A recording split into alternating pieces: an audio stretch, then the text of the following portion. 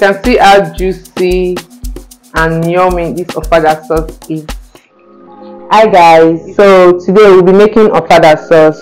So first step is for us to blend our pepper and onion so this is the kind of pepper we'll be using for this recipe. So you go ahead and place it into your blender. So if you have food processor that will be more easier for you because we don't really need this pepper to be smooth. Rather we need it to be roughly blend. So you're going to go ahead and add some water.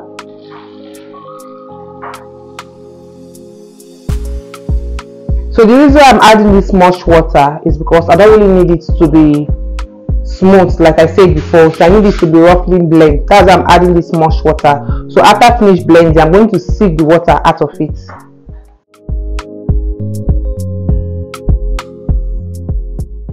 Up your turn up your heat. Place your saucepan on heat. Go in with our already bleached palm oil.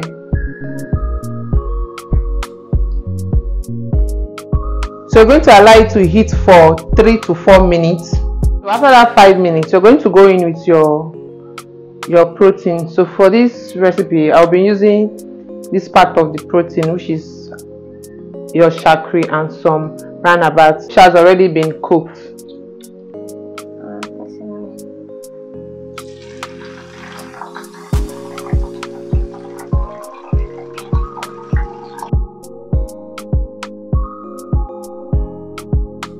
So when you're done frying it for about five minutes you're going to take it out and set it aside. When you're done with that you're going to go in with your pepper mix which is your roughly blended pepper mix that you already blend.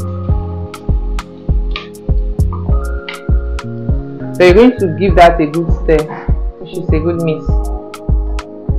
So you're going in with your locust beans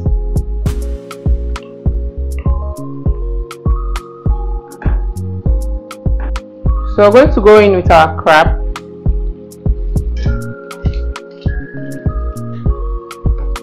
Add our seasoning cube.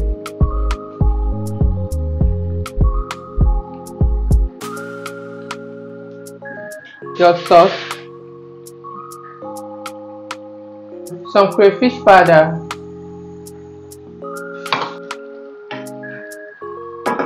Then leave and allow it to fry for about three minutes.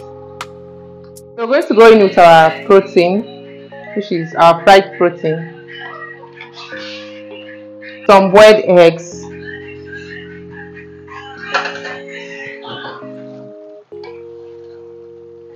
If you have prawns, you can easily add it to it.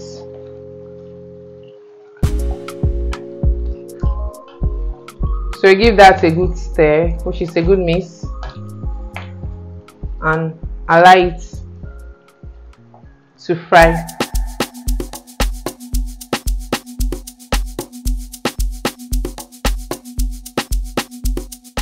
our ofada sauce is ready. You can see how juicy and yummy this ofada sauce is.